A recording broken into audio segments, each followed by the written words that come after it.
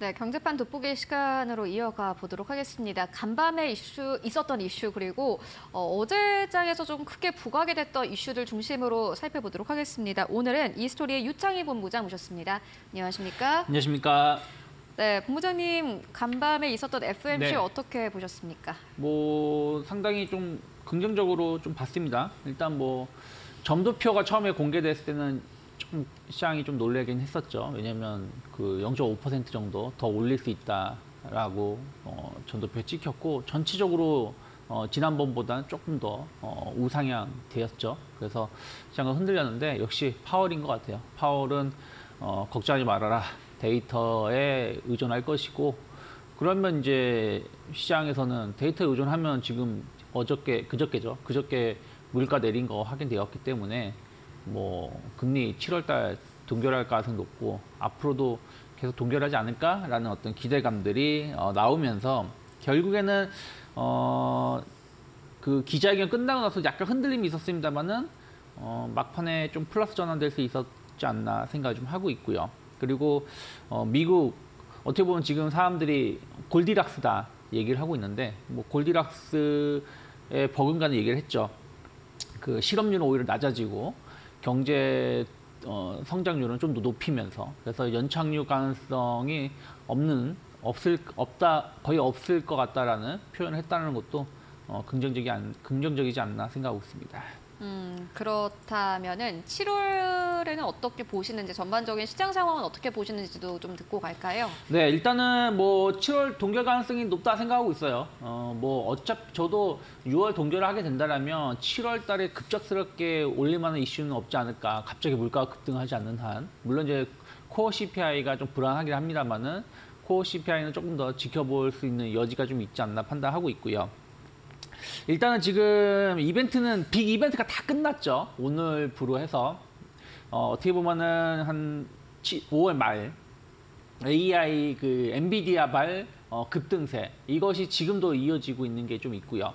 그리고 이제 부채한도 협상 잘 마무리되었고요. 또 어, CPI라든지 PPI 그리고 어제 그 새벽에 FOMC 회의까지 어, 중요한 이슈들은 다 끝났다 봅니다. 물론 이제 20이라든지 BOJ가 남아있긴 합니다만은 뭐, 그 시장 영향력이 뭐, FOMC만큼의 파급력은 없었기 때문이죠. 그래서, 어, 증시는 어쨌든 지금까지는 긍정적인 것만 보고 싶어 했었던 것 같아요.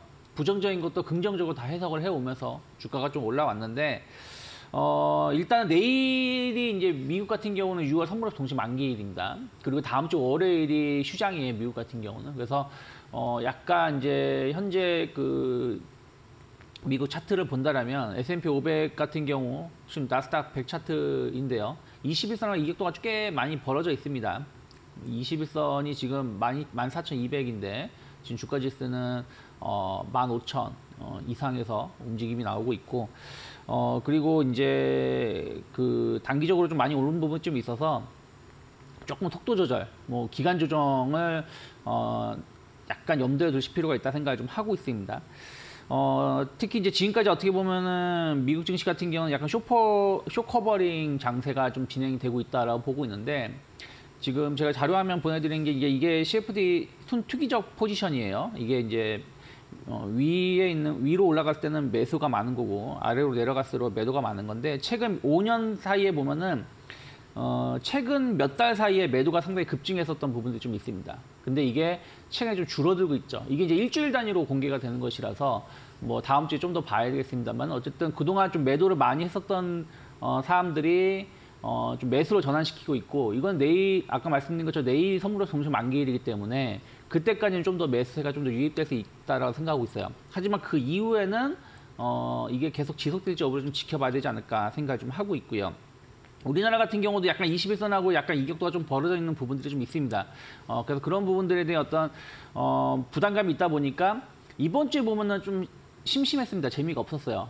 갈 수 있는 자리에서 못 가고 어, 약간 쉬어가는 모습이었는데 저는 좀 국내 같은 경우는 약간 단기적 노이즈가 있었던 부분들이 어, 해소가 된다라면 먼저 조정이 나왔기 때문에 약간 이제 좀 해소가 된다라면 잘하면 2,700포인트 언저리까지의 추가적인 상승도 여론은 놓고 있습니다만은 여기서 치고 나가지 못한다라면 옆으로 횡보하는 지난 2월 달 정도의 모습에 어, 방향 그 흐름이 앞으로 좀 연출되지 않을까 어, 생각을 좀 하고 있습니다. 그래서 주가 지수를 보는 게 아니라 역시 뭐 차별화된 종목별 장세를 계속해서 대, 대비하는 게 맞지 않을까 판단하고 있습니다. 음, 지금 좀 종목을 봐야 된다 이렇게 전해주셨는데 어제 2차 전지 쪽으로 좀 강하게 조정이 나왔습니다. 네. 미국 정부가 중국 쪽에 양극재 공장 네. 뭐 설립을 승인을 했고 어, 어제 보니까 낙폭이 꽤나 깊더라고요. 2차 전지 같은 경우에 뭐 상승폭도 사실 크게 올라오기 때문에 어제 낙폭이 큰 거는 어쩔 수 네. 없는 상황인 것 같고요.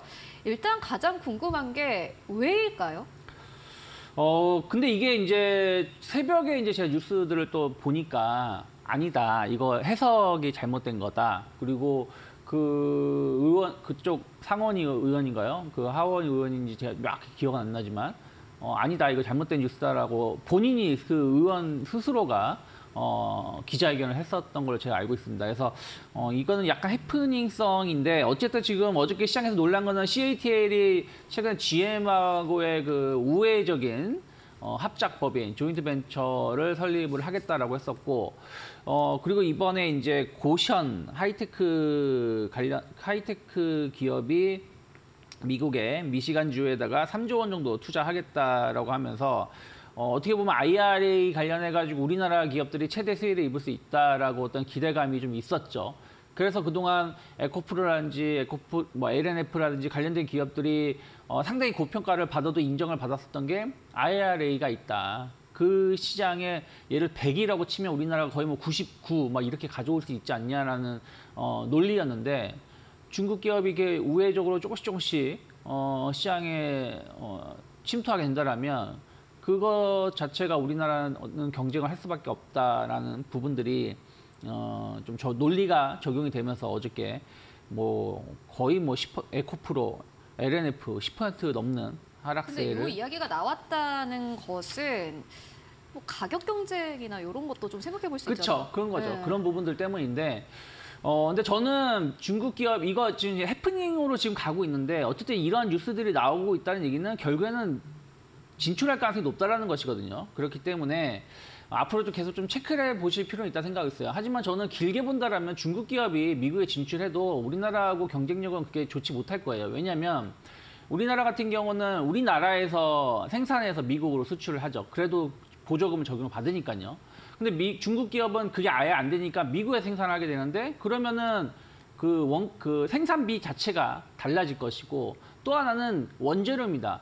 원재료는 중국에서 수입해 올 건데 미국에서 원재료에 대한 어떤 관세를 크게 때릴 수가 있어요. 그러면 어, 미국에서 생산해서 IRA 그 보조금을 적용을 받는다고 하더라도 가격 경쟁력이 우리나라 기업하고는 잘안 될 가능성이 높다. 우리나라 기업이 오히려 더 우위에 있을 수도 있다라고 저는 생각을 좀 하고 있습니다. 그래서 뭐 이거는 제 혼자만의 생각 분석 어, 내용이지만요. 그래서 길게 본다라면 우리나라 기업이 나중에는 어, 시장 우위에 있겠지만 어쨌든 차- 새로운 경쟁자가 나온다는 것 자체는 부담스러울 수밖에 없겠죠. 그래서 이러한 부분들은 계속해서 좀 추격, 추적을 해봐야 된다 생각을 좀 하고 있고요.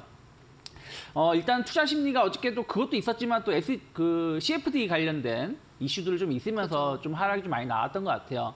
근데 약간 이제 이슈가 지금 해, 어, 해프닝으로 지금 어, 흘러가는 부분들이 좀 있어서 저는 셀 업체들 LG 에너솔루션이라든지 어저께 삼성 SDI는 대규모 투자 얘기가 나왔는데도 주가가 못 올라갔었던 부분들이 있어서 일단 셀 업체 위주로 좀 보시고요.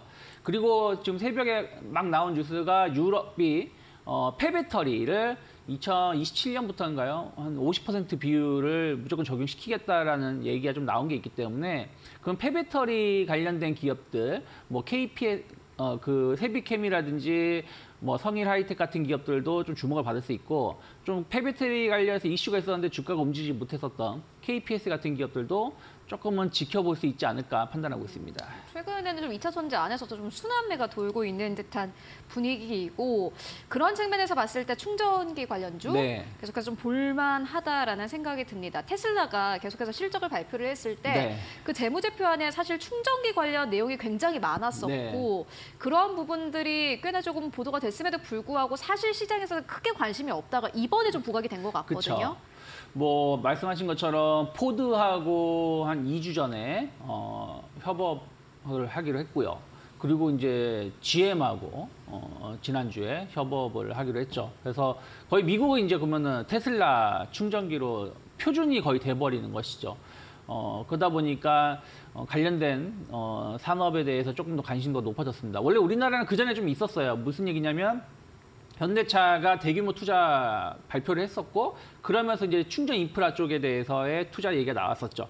어, 그래서 관련된 어, 충전기 관련된 주- 기업들이 반응이 나왔는데 그때는 뭐 몇몇 기업들 뜨뜻미지근한 반응, 야, 약간 오르긴 했는데 막 엄청나게 오르진 않았었는데 요 테슬라 이런 이슈들이 나오면서 뭐 어떤 종목은 뭐 급등을 좀 하기도 했었습니다.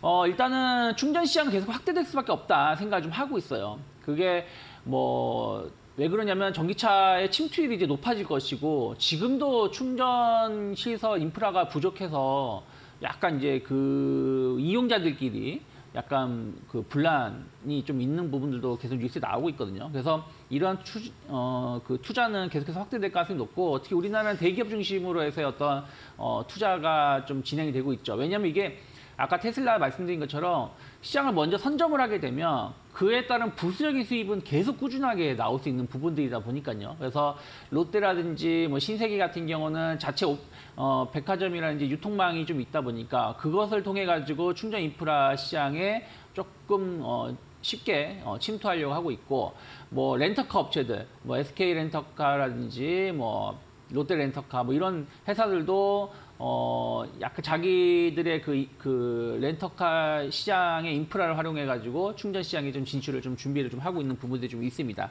그리고 이제 SK라든지 LG는 어, 충전기 혹은 충전 플랫폼 이런 쪽에 대해서 SK 시그마가 미국 시장에서 아직까지는 뭐 앞으로는 어떻게 모르겠습니다만 지금은 어, 점유율 1위거든요. 그래서 설치도 제일 많이 해놓고 그래서 그런 부분들에 대해서 각자의 포지션이 좀 다른데 어쨌든 시장에 대해서 관심도가 계속 좀 높아질 수밖에 없다라면 동양 EMP가 최근에 좀 급등세를 보여줬습니다만 계속해서 좀 지켜볼 필요가 있다 생각하고 있고요.